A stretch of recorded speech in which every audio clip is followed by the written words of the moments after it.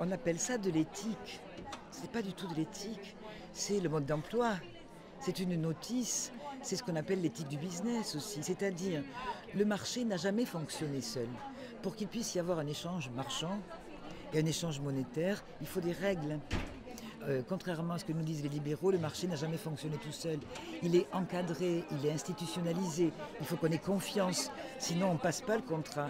Et en fait, ce qu'on appelle aujourd'hui une GPA éthique, c'est tout simplement une GPA qui n'est pas sauvage, dans laquelle il y a un contrat. Mais en revanche, euh, cette éthique du business, ce mode d'emploi, est une éthique purement instrumentale qui vise à ce que l'échange se passe bien, que la livraison soit bonne, voir que le droit à l'enfant soit le droit à un enfant de qualité, que, à la qualité de l'échange. Mais en revanche, cette éthique ne porte pas du tout sur le problème central de l'instrumentalisation du vivant et du renversement de la fin et des moyens. C'est-à-dire, au nom du droit à l'enfant, l'enfant devient un moyen et non pas une fin en soi. Pour cela, pour, pour arriver à penser la maternité comme un service corporel, il a fallu créer euh, véritablement une notion économique qui est le service corporel est un service économique. Mais pour que ce soit un service économique, il a fallu le détacher de la mère porteuse. Voilà pourquoi on, met autant de moyens pour que la mère porteuse ne s'attache pas à l'enfant. Parce que le produit ne lui appartient pas, elle est simplement une sorte de...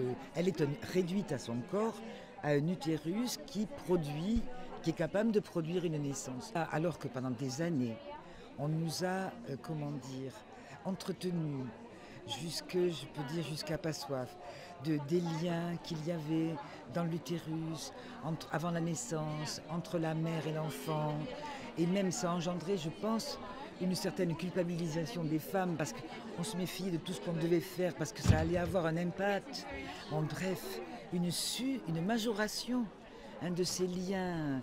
Et aujourd'hui, visiblement, ça ne pose plus aucun problème, ça n'existe plus.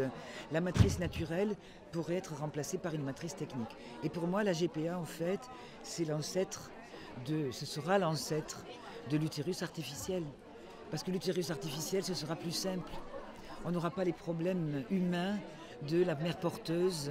Là, on aura un acte purement technique, euh, débarrassé définitivement de toute possibilité d'éthique.